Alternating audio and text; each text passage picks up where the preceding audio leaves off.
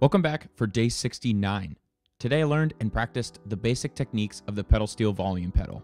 The volume pedal is another key element to the sound of a pedal steel guitar. It doesn't change the pitch like the other pedals do, but it is crucial to an emotional sound.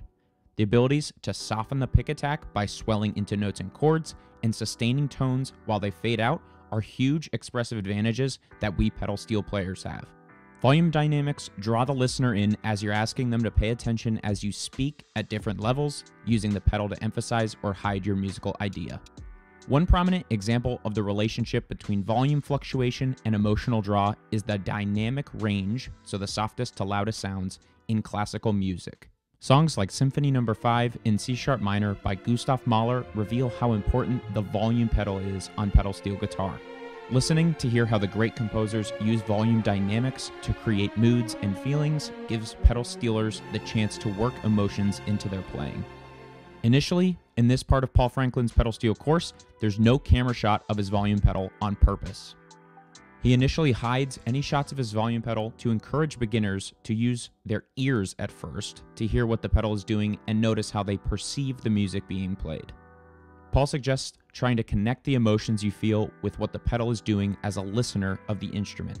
Then, as a player, when you want to invoke that feeling, you will have practiced it and it will be free to use without even thinking about it.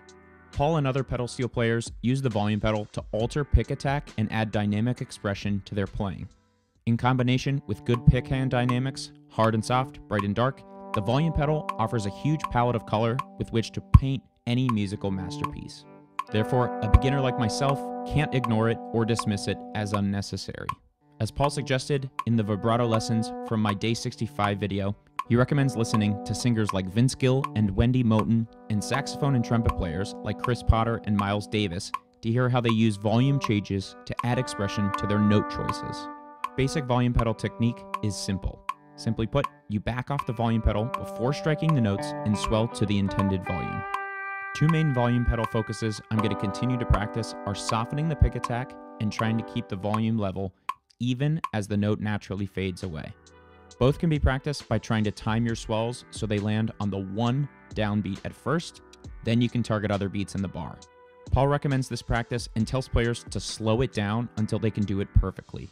Melding the mechanics and the emotion is the initial challenge of this instrument, so there's so much value in taking your time with it. It's important to incorporate the volume pedal into a practice routine at all times. Practicing the exercises expressively will make your music and my music sound better.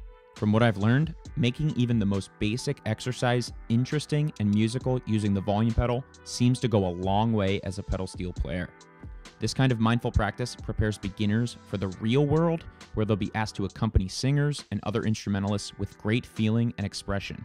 Thanks for checking out day 69. I have a surprise for tomorrow's video, so make sure you come back to find out what it is. And as always, play every day.